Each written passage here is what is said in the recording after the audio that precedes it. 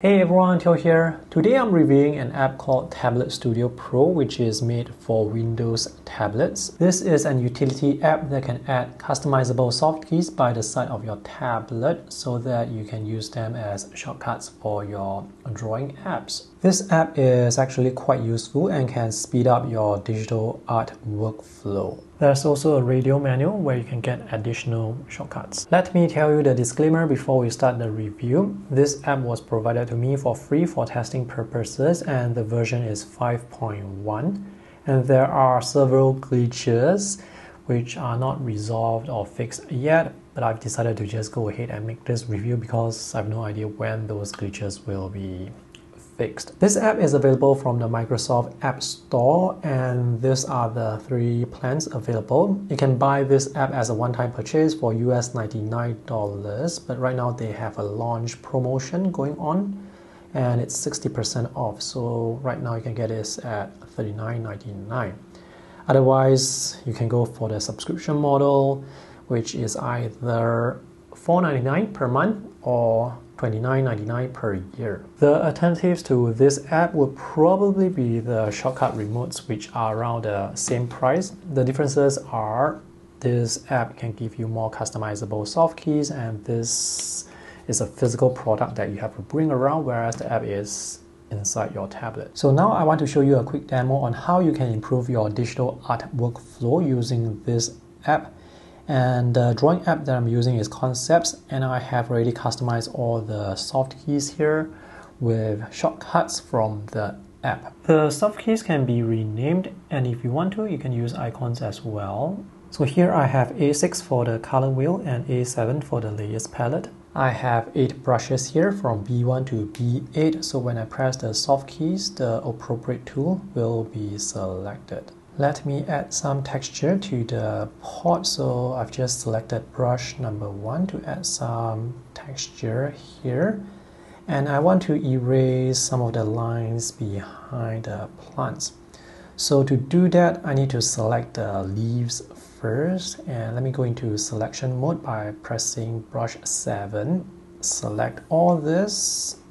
Press the lock shortcut there and now go into the eraser shortcut which is brush number 8 and just erase the lines behind. And now I need to unlock the leaves because I need to delete some of the leaves as well. So let me just select all unlock here and once again go into the selection mode which is brush number 7 I want to select this leaf that I want to lock and now it's locked. And this sleeve that I want to lock and now it's locked. Let's go into the eraser tool again and erase the leaves in the back. By the way, you can use the soft keys or the tools or the menus on the drawing app as well. The difference between using Tablet Pro Studio versus the tools that are already provided is some of the shortcuts for apps such as Photoshop, Clip Studio, and other apps are actually hidden behind menus, so you have to click a few times to find those shortcuts. So with Tablet Pro Studio, you can actually customize those shortcuts and expose them here, which can let you access those shortcuts more easily with just one tap. And now I'm on the correct layer, so let's select brush number three. Oops, I tapped one extra time. So let me just color this really quickly. And let me switch to brush number four for the shadows. Okay, and brush number five for the pot. And brush number six for the shadows. So with this app, I can actually select the colors very quickly and this allows me to work much faster. If I need another potted plant by the side, I can select all and duplicate and move this to the side here. So now I have two potted plants. Obviously, you can use your keyboard shortcut Control A, Control D to select all and duplicate, but you have to bring this around. So if you have this app by the side, you don't need any extra physical devices um, in order to use those shortcuts. So that's actually the selling point of this app. This app has so many features and settings, it will really take some time to learn what this app is capable of. And these are the shortcuts, the keyboard shortcuts that are available. So if you want to call up the driver using your keyboard shortcuts, you can do so if you have a keyboard around. If you are left-handed, you can choose to have the panel go to the right side. To do that, just tap on the apps icon, tap on touch settings and choose to have it positioned on the right side and tap apply. So this is just one place where you can adjust some of the settings. The other place to adjust the settings would be tap on the app itself to open up the driver. And now let's take a look at the customization available. So this is the driver and there are many settings that you can change. And the learning curve for this driver is actually quite high. There are some video tutorials already created by the developers, but you would definitely need to spend some time to go through those tutorials in order to understand what this driver is capable of. So here we have this big button which allows you to turn on or off the side panel. You can also use a keyboard shortcut to turn this on or off. And here at the bottom is this auto switch which currently has some glitches. Auto Switch should load the appropriate shortcuts for the active app. So for example, right now I'm using Concepts and the shortcuts for Concepts are loaded here. If I switch over to MIDI by right the shortcuts here should reload for MediBang, but it's not happening here. And if I use Chrome, the shortcuts should reload for Chrome. And if I don't want the shortcuts to load for Chrome, for example, there's no way for me to do that.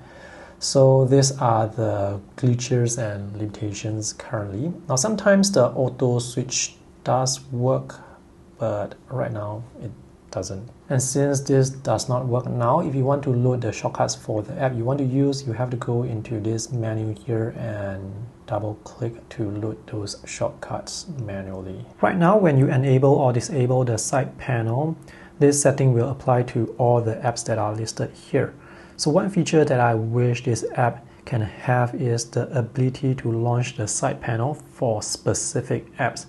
For example, if I just want to launch the side panel for Photoshop and Adobe Illustrator, I can put a little check marks beside those two apps.